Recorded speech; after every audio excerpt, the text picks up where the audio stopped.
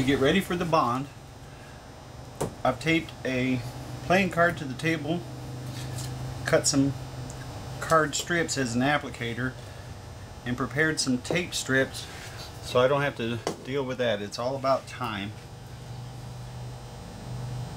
The lid gets clogged sometimes.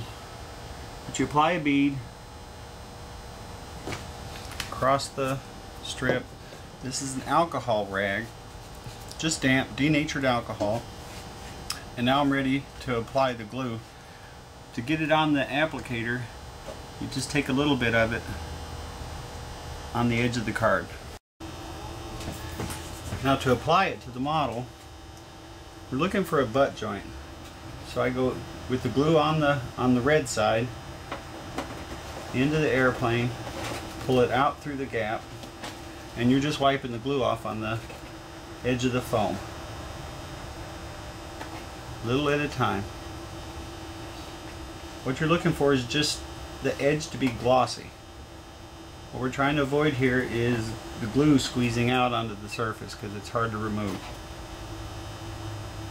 Now that I've got it all shiny, I'll wipe the edge, use the alcohol rag to clean my finger, wipe it off with the dry rag, and then move on to the next one.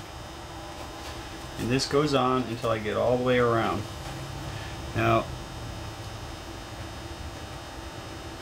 Uh, if you have, um,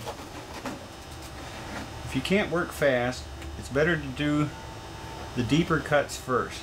That would be this one and this one and save those for later. So I'm going to go for it and try the whole thing. You can wipe off the excess this way. Then do that.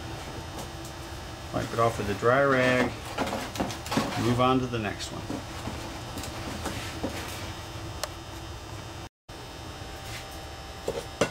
You start by applying the tape at the widest point.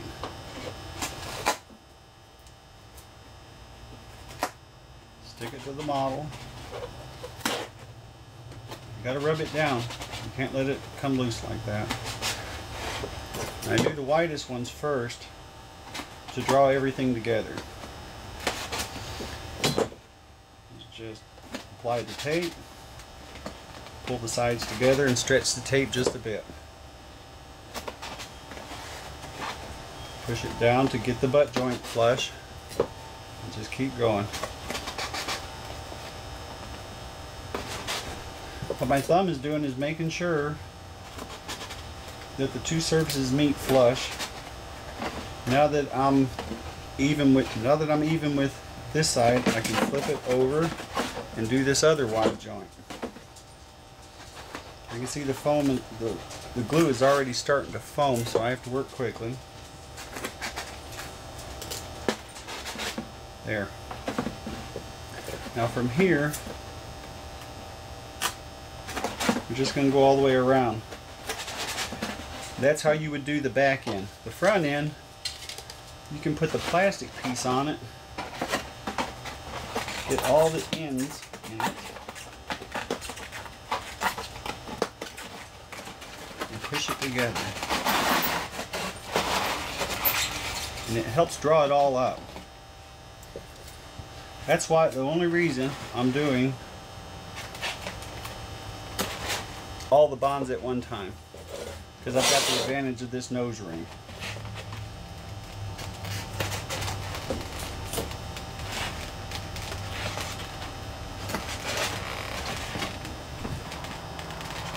At this point I'm not using the thumb anymore to line the pieces. I'm actually reaching inside holding them together while I pull the tension on the tape. And adjust that nose ring.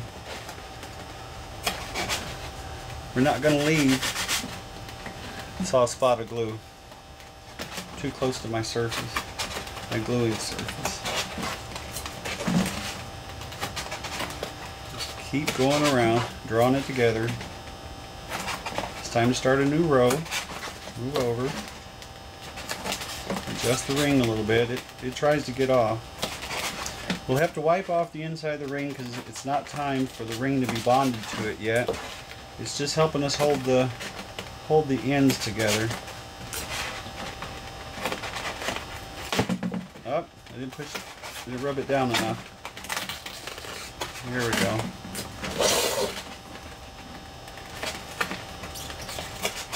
Having the tape strips ready is a large advantage.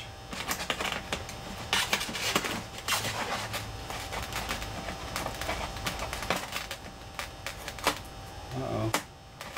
There we go. Ah. Okay. There. And start a new row. This guy off. There. And we're back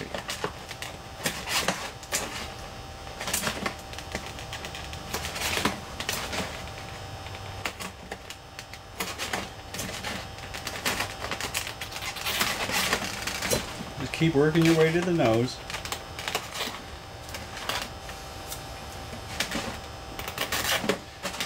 It won't be long and this plastic nose ring is going to be in my way and I'll remove it. And by now I'm getting to the longer strips of tape.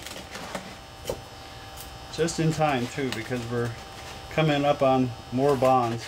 You can do two bonds. Ah, rub it down, rub it down.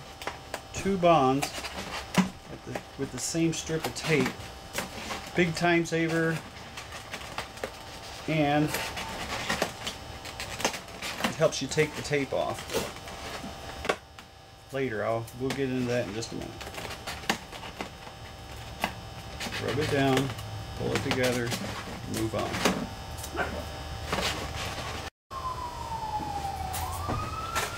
Now about an hour ago, I put this one together. What I've got is a hair blow dryer on a stand because I normally work alone. Turn the fan on. And you need to feel that the tape's getting hot. It comes right off. Doesn't hurt the foam. Gotta keep moving because it makes your fingernails get hot. But there's no damage to the foam at all. You see it, it works pretty good. Maybe you can go get somebody to hold it for you while you peel the tape off. This is the best way to remove the tape. Whenever I prepared these tape, the tape tabs, I folded over a piece so I'd have something to hang on to.